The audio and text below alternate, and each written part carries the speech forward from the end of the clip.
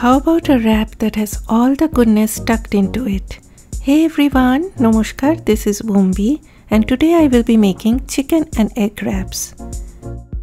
We will first marinate the chicken. Though I am not a fan of chicken breast meat, but for these kind of recipes, white meat is the best as they cook faster.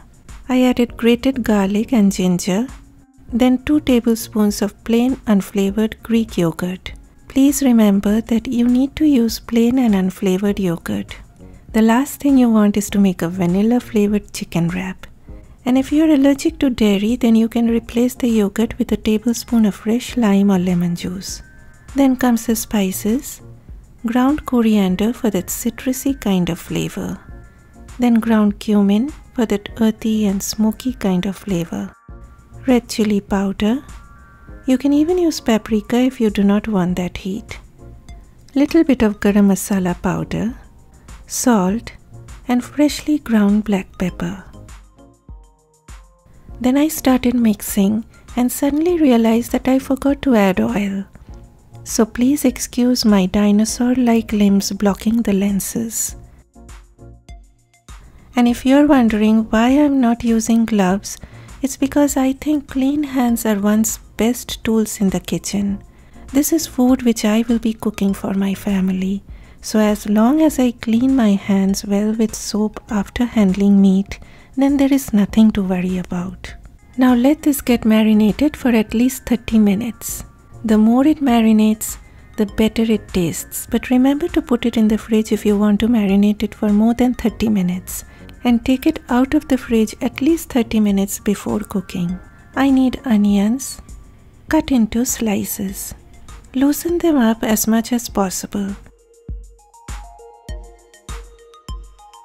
I'm going to save some of them in a bowl and the rest will go into the pan. Now to these onions I added some chopped green chilies. You can leave them out but they blend wonderfully well in the wrap. Then add a good amount of lemon juice.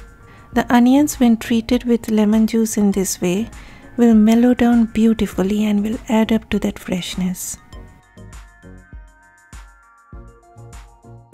You need this at the end so cover and put in the fridge and let the lemon juice do all the magic.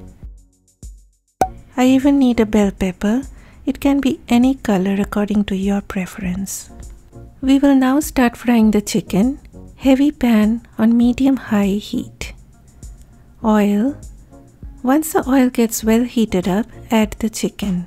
Spread them out in a single layer and you will see me doing this in many of my chicken recipes. We want each piece of chicken to get that maximum heat from the pan.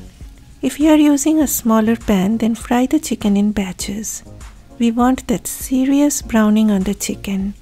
You will see a lot of water coming out in the beginning and we want all that moisture to dry up.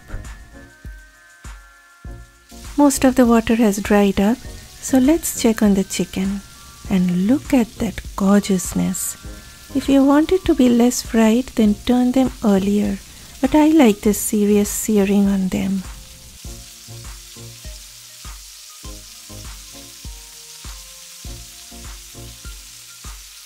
At this point, I like to cover the pan for a few minutes. Keep in mind that this is chicken breast and white meat gets done quite quickly. If you overcook them, they will taste like shoestrings and who wants that?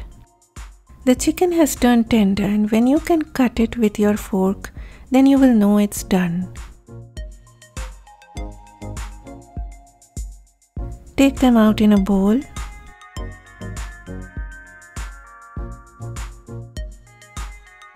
Next, the onions dive in, followed by the green beauties. Add a sprinkle of salt and stir on medium high heat for a few minutes.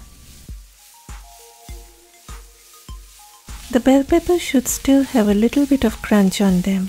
The last thing you want is some very sad and pale looking bell peppers that taste horrible. Okay, everything is looking perfect and I have switched off my stove as I do not want to go any further with the cooking. Now add the chicken and do not forget all those juices guys. Again, I'm doing all this off heat. then loads of coriander. I even like using some mint leaves and I usually tear the mint leaves instead of chopping them. I mean, you can leave out the mint if you choose to, but it adds so much freshness to this dish. Stir, and much as I love the beautiful colors of food, you have to agree on this point that it looks like a party in that pan with confetti strewn all around.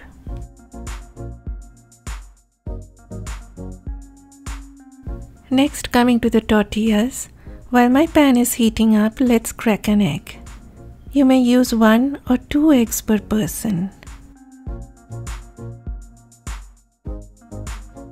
Oil in, medium heat, tortilla enters the scene.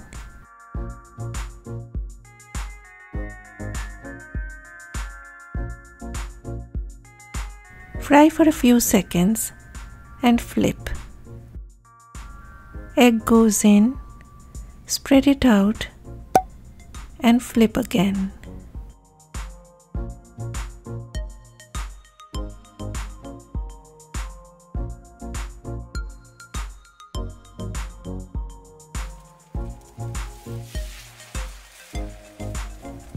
Fry for a few seconds and you are done.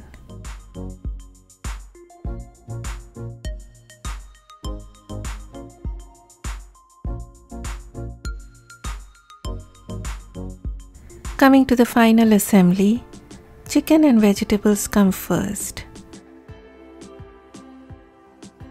followed by the lemony onions, and then I like to drizzle some sour cream. You do not have to add sour cream. Ketchup, barbecue sauce, or any type of sauce or chutney will go well with this. The choice is all yours, but I would love to hear what kind of sauce or chutney you used.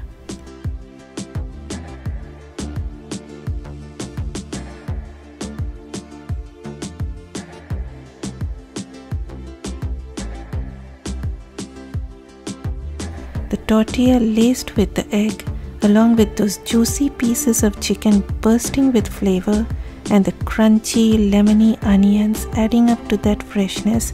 Ah, I mean, what more do we want? Please smash that like button if you've enjoyed watching this video and please do send me your feedback after trying this recipe. Bye bye.